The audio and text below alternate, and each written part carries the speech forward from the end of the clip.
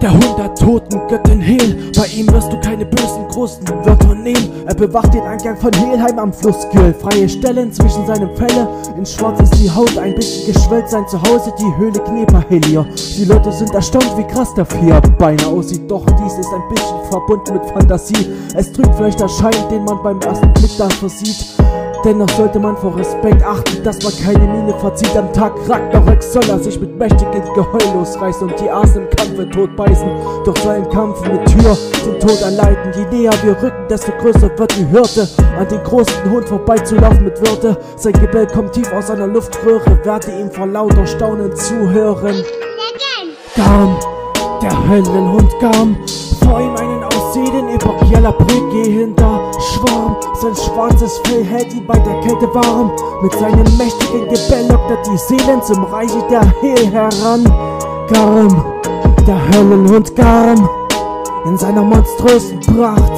Garm, der Höllenhund Garm. Ich trete immer näher zu Garm hervor. Er lässt die wandelnden Toten hindurch. Sind beim Betreten Helheim kurz davor. Lebe bei seinem Blick vor Respekt in Furcht.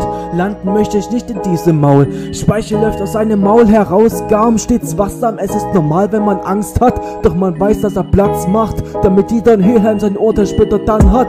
Konzentriert blickt er auf die Seele in großer Anzahl. Sitzen dann beobachten, dann begann er wieder mit Bällen. Damit die Seelen des Echo subtil entdecken. Da stehe ich vor ihm und sehe ihn an.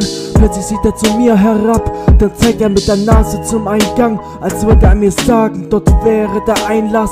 Ich neigte meinen Kopf, um zu zeigen, dass ich mich bedanke. Er erwidert dies als Zeichen, dass er es verstand. Dann blickte er wieder Kjalabrü entlang und ich dann die letzten Schritte begann. Schaute mit einem Lächeln nochmal nach hinten. Er tat zu mir noch ein letztes Mal herbeiblicken, zeigte ihm ein Grinsen als Dank. Danach weichte sein Blick von mir erneut ab und ich dann durch den Toren verschwand und ich daraufhin den Weg nach Helheim besann. Garm, der Höllenhund Garm, vor ihm einen Aussehen über Kjellerbrück gehender Schwarm. Sein schwarzes Fell hält ihn bei der Kälte warm. Mit seinem mächtigen Gebell lockt er die Seelen zum Reiche der Hehl heran. Garm, der Höllenhund Garm, in seiner monströsen Pracht. Garm, der Höllenhund Garm.